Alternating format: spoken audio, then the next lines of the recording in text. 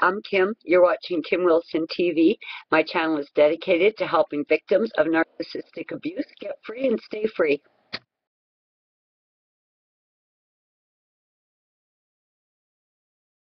Hi guys, today we'll talk about gaslighting because gaslighting is really a very cruel, manipulative tactic that narcissists use to brainwash their victims. And uh, I know a lot of people have suffered very, very horribly as a result of gaslighting.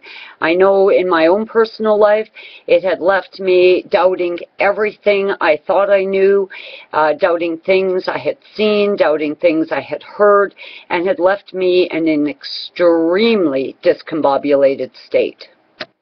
I'm going to read something here uh, that Ross Rosenberg wrote. Now, I do understand that Ross Rosenberg uh, presents as, as an expert on narcissism, but I'm going to say I find him to be very victim shaming, and I also find him to be of that kind of really bad idea that it takes two to tango. For someone who specializes in narcissism, you'd think by now he would have figured out that it actually doesn't take two to tango. It actually takes one lunatic to find a victim and to stir up all kinds of shit and ruin people's lives. But uh, I did find this to be kind of interesting, so I'm just going to read it. Okay, so it says, uh, I just have to change screens here. Gaslighting is a brainwashing strategy perpetuated by highly manipulative narcissists who live secretly and undetected in our society. Like child molesters seeking prey, gaslighters have a keen eye for spotting vulnerable personality types who are susceptible to their pretend affection. It goes on to say, gaslighters achieve complete control by manipulating the environment so their victims identify with an overwhelming and incurable pathological problem, which they never had. Huh. Complete brainwashing. Yeah, fucking been there. I'm going to tell you, I think, and I've really been trying to find out why, why this nightmare just lingers on. And I've talked to lots of people who've been free for 10, 20 years who still have this, mm, horrible, horrible sense of dread. And for us to heal fully and completely and leave this nightmare behind us and just step into a new life, we need to be able to sever this. And I've, I've felt like something, something has us just attached to this nightmare, and I think it might be the overwhelming brainwashing inflicted by the gaslighting.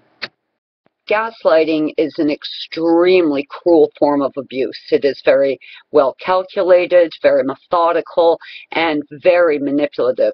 And the intention is to cause the victim to doubt what they've seen, doubt what they've heard, doubt the way they're feeling, doubt their own sense of reality and their own perception of what's actually happening in their own lives, in their own beds, under their own roofs. And uh, this leaves people very, very broken, especially after long-term gaslighting. Now, gaslighting will not only leave a victim to doubt uh, you know, what's going on in their life and with them, but it can actually cause the victim to truly believe there is something wrong with them.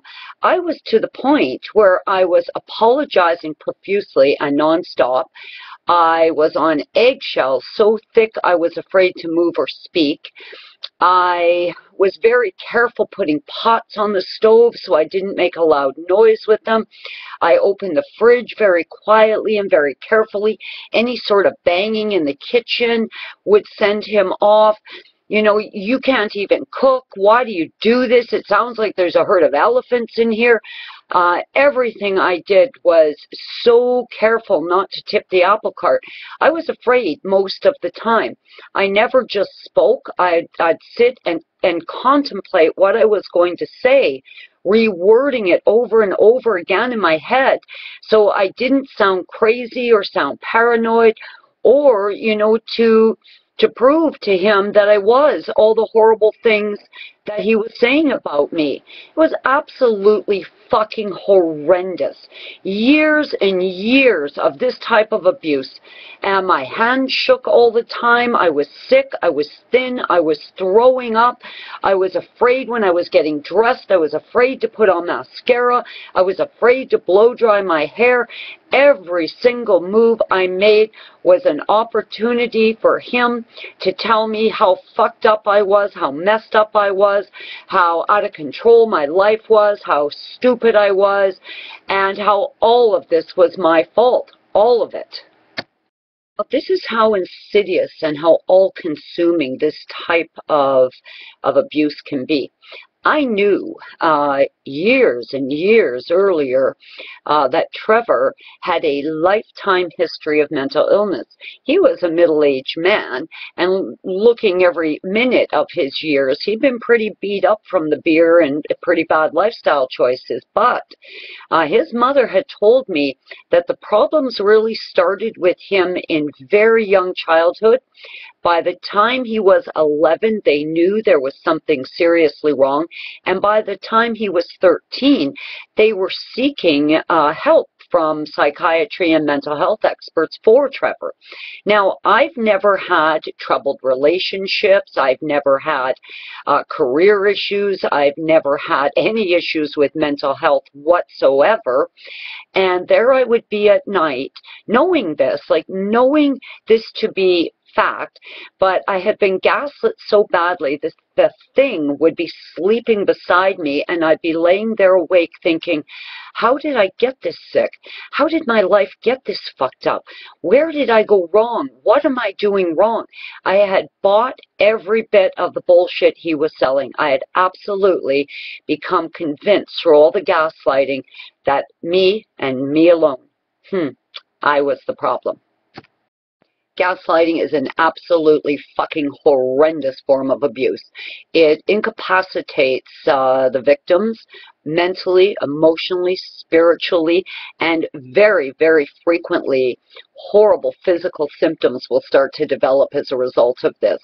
Relentless gaslighting incapacitates victims to the point that they can no longer see a way out and suicide becomes an option. Now, for those of us who are out, yes, we are really starting to see that we were under some very manipulative form of mind control, but if you're still in it, God, no, we are, we're here for you. We really are. We're, we're here, and I wish there was a way to get beyond this that was going to get you out sooner. But you need to try to keep reprogramming over that abuse. No, it's not me. No, I'm not crazy. No, I don't need medication. No, I don't belong in the fucking mental hospital.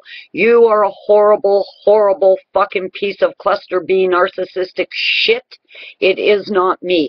So if this gaslighting is wearing you down and breaking you, please try to find your inner voice and just keep reminding yourself it isn't you. You are trapped in a horrendous cycle of abuse and we're all hoping that you get out soon. For anyone still trapped right now, I hope you can find your inner voice because a strong inner voice to combat that abuse is going to help you get your head straight and help you get out of there. It creates such a state of desperation when you can no longer even trust what you've seen and heard. I really need to take a moment to thank you guys again for the tremendous uh, help and support you've been in my recovery. And I, I hope people are, are starting to feel better through the development of this wonderful collective we have here at Kim Wilson TV. I'd probably still be shaking, curled up in the fetal position if not for you guys. I just really want to thank you guys so much. Uh, peace be with you. I'm Kim. You're watching Kim Wilson TV. See you guys soon.